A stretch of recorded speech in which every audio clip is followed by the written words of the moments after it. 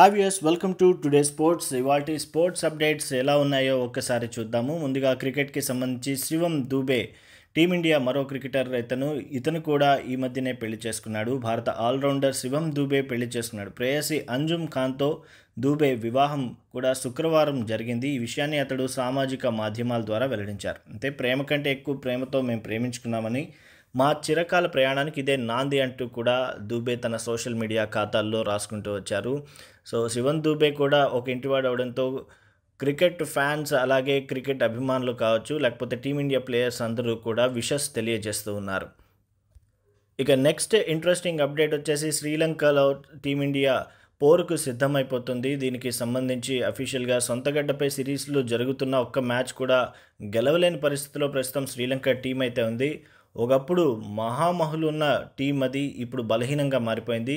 దాంట్లో చాలా వరకు క్రమశిక్షణ లేదు అంటూ ఏక్రా ఏకాగ్రత కూడా లేదు అంటూ చెప్తున్నారు. అయితే ఎలాగైనా టీమిండియాతో జరిగే మ్యాచ్లో ఖచ్చితంగా గెలిచి మరోసారి పరువు దక్కించుకోవాలని చెప్పి చూస్తుంటే శ్రీలంకన్ టీంకి ఎలాగైనా ఓడించాలంటూ కూడా గబ్బర్ సేన కూడా ఉంది. అందుకే మూడు టీ ట్వంటీ మూడు వన్డేల్లో ఒక్కటి గెలిచినా గొప్పే అనుకుంటూ విశ్లేషకులు అయితే శ్రీలంక టీంని అనుకుంటే మూడిటికి మూడు అంటే మొత్తం టీ ట్వంటీలు వన్డేలను కూడా క్లీన్ స్వీప్ చేసి భారత్కు తిరిగి వెళ్ళాలి అంటూ కూడా గబ్బర్ సేన్ అయితే భావిస్తుంది ఈ నేపథ్యంలో ఎలా ఉండబోతుంది అనేది ఇంకొన్ని గంటల్లో అంటే మనకు మ్యాచ్ స్టార్ట్ అవబోతుంది. సో ఎయిటీన్త్ నుంచి జరగబోయే మ్యాచ్లో కూడా మనకి ఈ విషయాలన్నీ తేటతెల్లం అయిపోతాయి అనమాట ఇక నెక్స్ట్ అప్డేట్కి సంబంధించి కనుక చూసుకుంటే టోక్యో ఒలింపిక్స్కి సంబంధించి మనం చూస్తూనే ఉన్నాం వార్తలు వింటున్నాం. అయితే టోక్యో పారాలింపిక్స్లో భారత్ తరపున ఒక ఐఏఎస్ అధికారి కూడా బరిలో నిలిచారు. నోయిడా జిల్లా నుంచి మెజిస్ట్రేట్ సుహాస్ యతిరాజ్ కూడా పారా బ్యాడ్మింటన్లో పోటీ పడేందుకు అర్హత సాధించారు.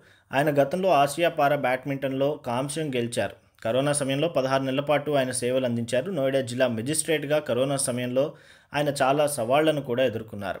ఈ నేపథ్యంలో సుహాస్ కూడా లక్ష్యంగా సాధించి ఎలాగైనా బరిలో దిగాలి అని చెప్పి కూడా ఆయన చూస్తున్నారు. ఆగస్టు ఇరవై నాలుగున టోక్యోలోని పారాలింపిక్స్ కూడా ప్రారంభమవుతున్నాయి. ఈ నేపథ్యంలో పథకం ఎలాగైనా సాధించాలి. ఇదే లక్ష్యంతో కూడా సుహాస్ బరిలోకి దిగుతున్నట్లు కూడా ఆయన తెలిపారు. సో మొత్తానికి ఒక ఐఏఎస్ ఆఫీసర్ టోక్యో ఒలింపిక్స్లో పాల్గొనడం అనేది కూడా భారతదేశం నుంచి మనకి గర్వకారణంగా భావించాలి. ఇక నెక్స్ట్ అప్డేట్ చూస్తే ఇక దినేష్ కార్తిక్ కూడా ఒక కీలక వ్యాఖ్యలు చేస్తూ వచ్చారు. ది హండ్రెడ్ అనే టోర్నీ ఆడేందుకు కూడా తాను సిద్ధంగా ఉన్నట్టు క్రికెటర్ దినేష్ కార్తిక్ చెప్పారు.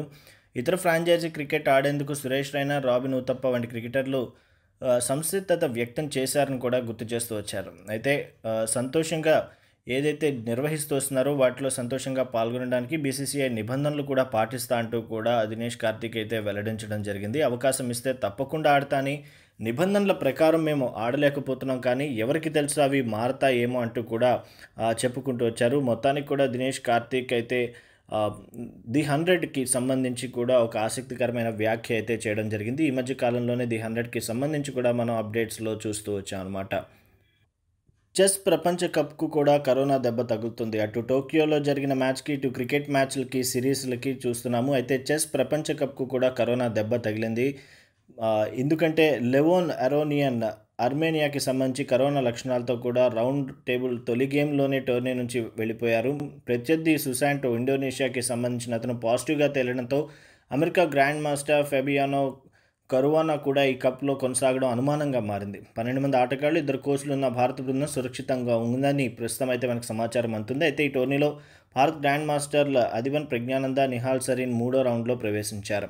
సో ఏది ఏమైనప్పటికీ గేమ్లో ముందుకి సాగాలి అనే దానికంటే ఎక్కువగా కరోనా నుంచి కరోనా బారిన పడకుండా ఉండాలంటూ కూడా ఎక్కువ ప్లేయర్స్ వెళ్ళిపోతున్నట్లు తెలుస్తుంది. ఈ కరోనా మహమ్మారి తగ్గేదాకా ఈ మ్యాచ్లకి సంబంధించి ఇలాగే వీటికి సంబంధించి ఒలింపిక్స్కి సంబంధించి అయితే మనకి దెబ్బలు తప్పేలా లేవంటూ కూడా తెలుస్తుంది. సో ఇది ఇవాటి స్పోర్ట్స్ అప్డేట్స్.